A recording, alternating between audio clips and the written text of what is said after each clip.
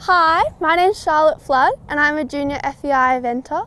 Um, this is my horse Collude. Um, he's an off-the-track thoroughbred who I got about two and a half years ago in January of 2016. Um, and we began competing in Pony Club Grade 4 events and we're now competing together at One Star together.